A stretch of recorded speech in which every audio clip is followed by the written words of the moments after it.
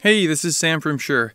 In this tutorial video, I'm going to talk about a feature called New Frequency, which is a special capability for our ShowLink capable systems. New Frequency is a feature that allows users to quickly and with minimal interaction pick a new frequency from a pool of backups to effectively automatically deploy to a ShowLink capable system so that receiver and transmitter both switch to a new and clean frequency.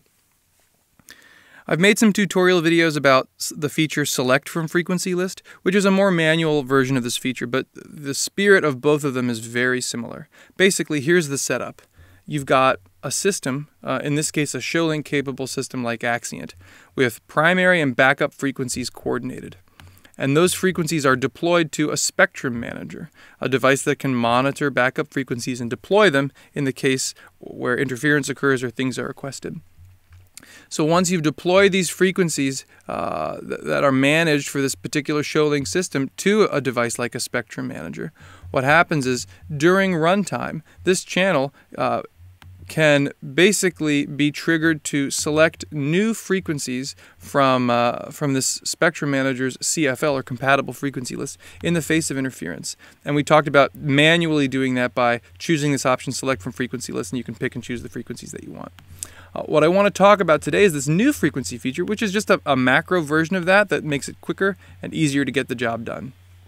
So the scenario would be Alan, my Alan's channel, uh, whether we're in the middle of a performance or ahead of time doing a line check, uh, experiences some issue. And for whatever reason, uh, it's determined that we got to switch frequencies.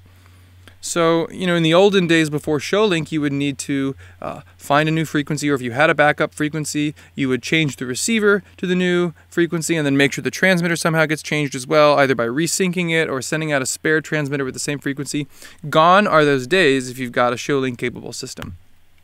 In the radio tab of the properties panel, we've got all the manual frequency controls here, and then this button, new frequency. Now this control is, uh, it's not always available. You know, in order to take advantage of this feature, we have to make sure that we've calculated backup frequencies for, um, for this type of device and that we've deployed them to a spectrum manager. Now I showed you a second ago that we did that, but if you had not done that or if there, no, there were no available backup frequencies, this control would not be enabled. Because it is enabled, what I can do is by pressing it, I just want to show you what's going to happen here. By pressing new frequency, um, this channel will reach out to the spectrum manager and say, hey, give me your next best backup frequency. And the spectrum manager, without showing the user any other confirmation, says, all right, I've got this one backup frequency. You sure you want it? Yep, here you go. And whatever the highest ranked backup is for this particular device will be automatically deployed.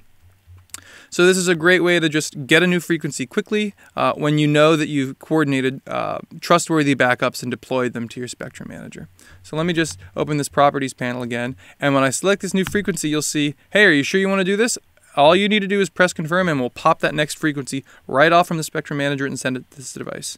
So you'll notice from 493, our current frequency, when I press confirm, our frequency uh, changes to 529 and both the receiver and the transmitter, as we can tell by the presence of our RF, switch to that new frequency.